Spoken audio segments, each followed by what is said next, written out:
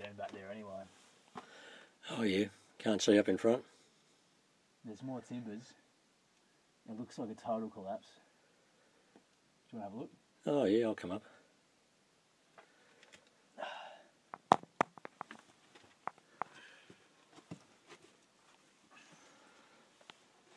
Wedged underneath this timber here.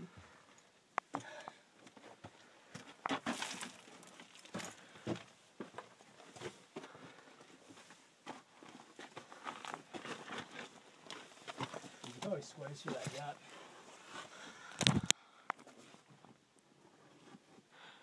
Yeah, I'll climb over and have a look a bit further in, mate.